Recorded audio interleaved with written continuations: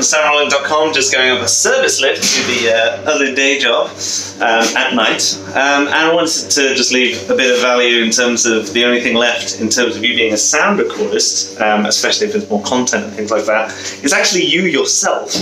The only things really left. And so with that, essentially, as uh, things go on more and more, is uh, that you're going to see more and more commoditization, I guess, is the technical term for it.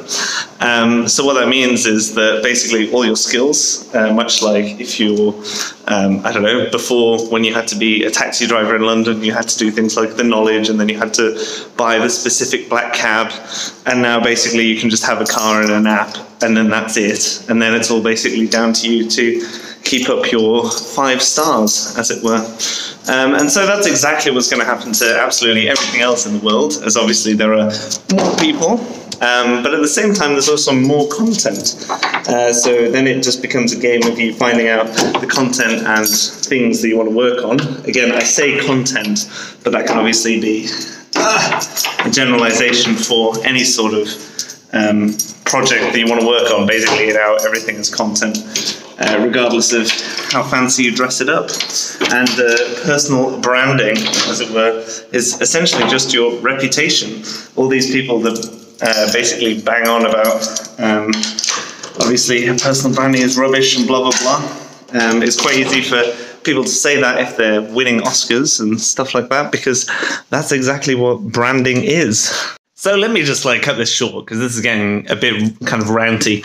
Um, essentially, the main things that you need to do are as quickly as possible get to the basics. Everyone's got the basics, so this is like the first 90, 95% of the actual gig, which is turning up, uh, probably living fairly close uh, to a location that has lots of work, having uh, equipment or access to equipment, because again, you can go more down the rental route.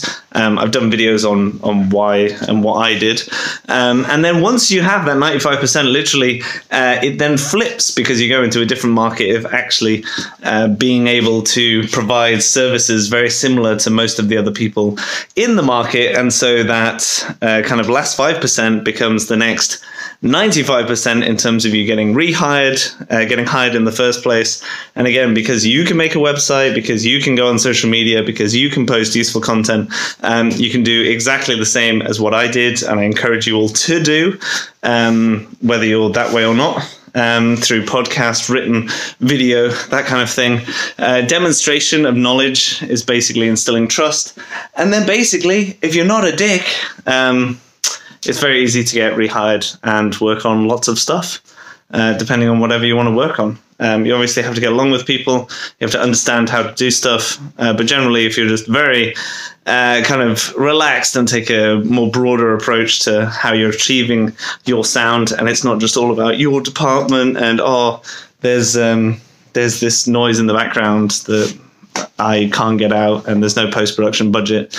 Um, it's just being able to sensibly kind of scale your stuff. And I realized that I've also been walking around a lot in this video, so a lot of people are going to be dizzy, but hopefully that uh, rounds things up. The most important thing for you to build after actually getting some uh, recording equipment or finding out where to rent some recording equipment is obviously to practice your craft relentlessly all the time until you feel you're up to a very decent standard. And then it's all down to your actual personality traits and how much you're willing to work in terms of getting work. Realistically, if um, in London we take an average of maybe five to six hundred pounds a day with kit for basic kind of corporate content stuff, and we say that in London, I don't know, even if you're in a two if you're in a two bed place because uh, you're fancy, obviously you could be alone, but let's say you have a partner and you're splitting rent, probably got about maybe a thousand, two thousand of expenses a month. So realistically, if you're gonna live on the edge, uh, you're going to find two days of work.